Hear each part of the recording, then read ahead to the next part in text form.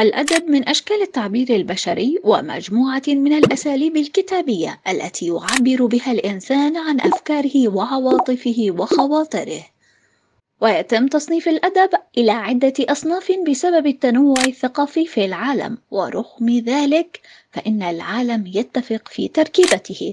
وقد يكون العمل الأدبي عبارة عن رواية أو شعر أو قصة أو ربما حتى سيرة ذاتية أو غيره. في هذه القناة سنحاول تقديم أعمال بسيطة جدا نقتبسها من الأدب العربي والعالمي وهناك معلومات جميلة نقدمها لك وإذا كنت من عشاق الأدب تابعنا على قناتنا. ومن يدري قد يعجبك ما نقدمه أو ربما قد تجد ما يثير عواطفك وينمي أفكارك.